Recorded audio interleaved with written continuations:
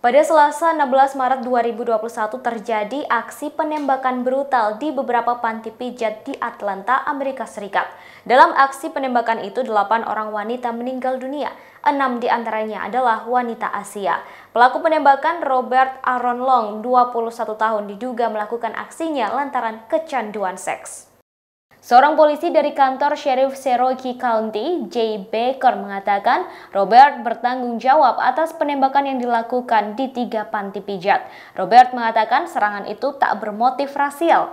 Dikutip oleh Kompas.com dari AFP, Sabtu 20 Maret 2021, diduga pelaku memiliki masalah kecanduan seks. Diketahui penembakan terjadi di Young's Asian Massage di Eggworth. Dalam serangan itu, empat korban tewas dan seorang pria terluka. Setelahnya, Robert melakukan serangan di dua spa yang berdekatan di timur laut Atlanta dan menewaskan empat orang. Robert ditangkap 240 km dari Atlanta setelah pihak kepolisian melakukan pelacakan terhadap ponselnya.